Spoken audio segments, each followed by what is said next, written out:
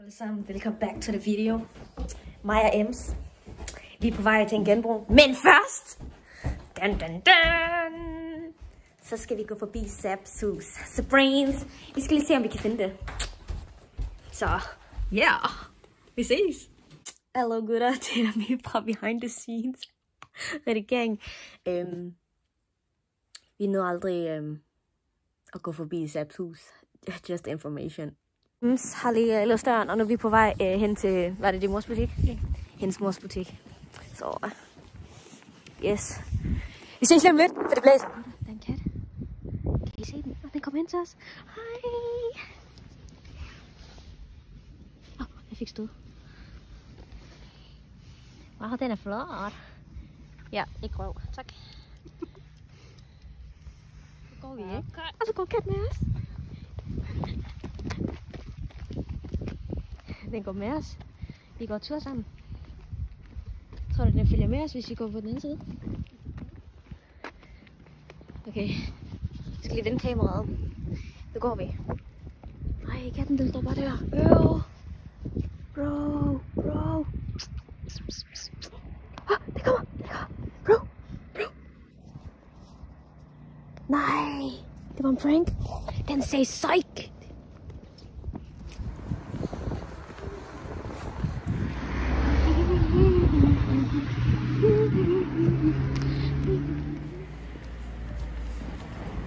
Det, det. Og vi skal prøve brødkjoler. Psych! Jeg får røde ører, hvis der kommer en masse lys til mig. Det er. Eller blå. Okay, vi er ankommet. Det var Ems mor, der kørte os ud, så det var luksus. Der er udsalg, så vi kigger bare rundt.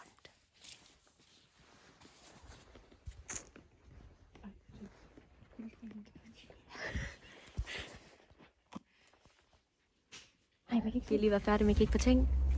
Og nu er vi på vej hjem. Jeg skal lige vise jer, hvad vi har købt. Hej, det er mig igen. Øhm, det er fordi, imens mig og Emma jo var inde og kigge på ting og sådan noget, der var alt for mange mennesker. Og øh, jeg synes, det var lidt akavet at bare filme. Så det gjorde vi ikke. Så det var derfor, at øh, vi skivede bare en hel, øh, en hel masse. Nå ja, og vi kunne heller ikke filme, fordi at øh, vi havde helt vildt mange ting i hænderne, og vi havde to kurve og alt muligt, og vi skulle prøve tøj, og det endte med, at vi gjorde det sådan i alt fem gange hele den her dag her, så. Back to the video. Det er min pose. Det er min pose. Det er Emma pose. Det er Emma taske. Emma pose. Vi har købt meget i dag. I får en lille um, try, try out senere. Lige før, efter mig Emma, vi havde um, prøvet tøj, ikke? Så var det, at øh, så kom vi hen til børneafdelingen og kigger lidt, fordi you know, jeg er lille, jeg kan bruge børnetøj. Og så når Emma vi kigger, så er der en, der siger, hey, I skal ikke bruge flere penge. Og vi var sådan, what happened? Så er det Sabrine, Sabrine, øh, så var det Sabrine, som lige sagde, høj. Og så skulle hun lige gå videre, så ja, vi har brugt nogle penge. Og nu kommer, eller om lidt kommer, kommer Ems mor og henter os. Og så skal vi måske til en anden genbrug. Farvel penge! Det er så godt, at vi har fået løn. Det var det, man sagde lige før. Det var godt, at vi har fået løn i dag. Jeg var sådan, ja, jo.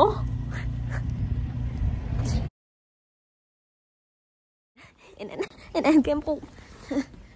Posen fyldt igen. Ja, goddag, som I kan se, så er vi kommet hjem til Ems. Plakater og. Okay, anyways, um, lige om lidt, der skal vi lige prøve tøj, så... Let's komme i gang! Det her, det er den første kjole, mig og MC har på. Den er rigtig stor og flot. I kan lige se. Og den her, den kostede, hvor meget kostede den? Og der var 50% på den her. Så... 25. Den kostede 25 kroner. Ja, det var flot. Og det er sådan, uh, den er ret stor, men man kan have højhæld på, og den er meget elegant. Og så Emma har købt den her kjole. Oh my god, den er fucking dyr. Men hun fik det til en god pris, så genbrug er godt. Så, ja. og så øreringene, øreringene. Nå ja, øreringene. Åh, oh, hvor er de? Der. Da -da. De matcher til kjolen. Det var nummer et. Det er den her øh, pyjamasæt. Nå nej, men det er et PMS. Øhm, og den her har jeg købt i den, vi kalder genbrug 2. Øhm, fordi vi har været i to forskellige, det glemte jeg at sige. Oh, sorry. Ja. Så. Og den, øhm, det var faktisk, øh, det var et helt sæt, og øh, vi googlede det, det var meget dyrt, og så nu koster den, eller den koster så 125. 125 for et sæt, og hver, det koster, den her kostede eksempel 200, den kostede sådan Koster det 200. ikke næsten 300 til det bukser? Ja, okay, hørte det? Det var ikke engang 200, det var 300. Så, you know, 125 for det her, det var godt. Ja, og Ems, hun har købt en nederdel. Wow, wow, wow. Ja, ja, og den her vintage trøje. Vi kalder det her vintage outfit, venner. Ja, ja. Ja, ja. Og sokkerne har hun ikke købt, men ja, ja, de er med. Og den er meget flot, som I kan se her. Så, hvis I kigger her. Ja, wow, jeg er godt nok lav, okay? Og de her, som I kan se, de her bukser, de er virkelig lange. Men, jeg skal have helt på, når jeg skal have dem på. Så. Okay. Mens en blazer på, kan I lige se det her næste outfit. De her bukser, de er fra Zara. Um, det er faktisk uh, kids-afdelingen, det her til 12 år, venner. Jeg er 12 år igen. Uh, uh. Jeg er 12 år igen. Og så den her, hvor, hvor, hvor var den fra? Øh, Mads Nørgaard, var det? Oh ja, yeah, ja, ja, og vi har googlet det hele godt. 70 kroner, tror jeg det var. Men ja, det er fint. De her bukser. Og ja, og Ems, hun købte det her sæt her, eller trøjen og det her. Ikke det her, ikke det der. Men det her ikke. Oh my god, den her ikke. Den koster originalt sådan næsten 1000 kroner, you know. Over 1000 faktisk. Ja. For det var over 1000. Og øhm, hun fik den til 100... Øhm, hvad var det nu? Et eller andet. 125. Det er rigtigt. 20, ja. Ja, ja. Og så den her vintage grandma slags. Den har sådan nogle grimme shoulder poops, men det skal vi have. Så. Yes. Hun har allerede prøvet næsten alt sit tøj. Det eneste, hun har tilbage i jakker. Og den her jakke, mm, mm, mm, gorgeous. But, de her lommer heroppe, de er fake. Det er lidt disappointment, men den har rigtig lommer. Så, og den er rigtig flot, og der er detaljer. Så, og den passer med outfitet og så det hele. Og så, jeg har en nederdel på, men jeg har lige lavet den om til en kjole lige hurtigt. Og så det her bælte har jeg også købt. Yes, yes, I skal bare lade være med at kigge bagved, for det er lidt lige meget, men ja. Jeg skal være helt ærlig lige nu, ikke? Jeg prøver en sidste kjole, og så magter jeg ikke mere. Det bliver for hårdt, det her. Så, yes. Vi skal også lige drikke vores te. Kjole, som jeg talte om. Den er sådan godt vintage. Og hvad hedder det? I kan lige se halsen. Øh, jeg knappede den, den. Man kan også bare unknappe den, men det gider vi ikke lige nu. Og den har et bælte. Og, og, og. Det bedste er, den har... Hvis jeg kan finde dem.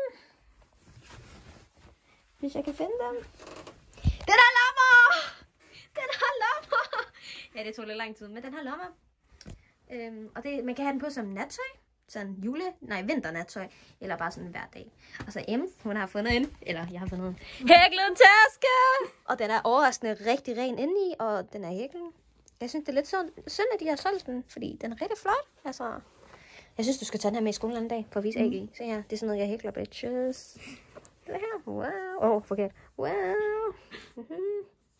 Og så, the jacket of the year. Nå ja, jeg har også købt jakker, men det er lige meget. Okay, anyways. Den har lommer og lommer og lommer, og de er alle sammen rigtige venner. De er, alle, oh, de er alle sammen rigtige. Okay, anyways. Jeg har rigtig meget at filme, men ved du det magter vi ikke. Og vi skal drikke vores te, inden det bliver koldt, og vi skal hygge lidt. Så det var det for den her gang. Øh, vi har rigtig meget. Øh, måske tager jeg kort video og lægger dem op, så I kan bare se dem rulle frem. Du ved, sådan en slide. Jeg ved det ikke. Det kommer an på, hvor dårlig jeg er. Men det var det. Hej!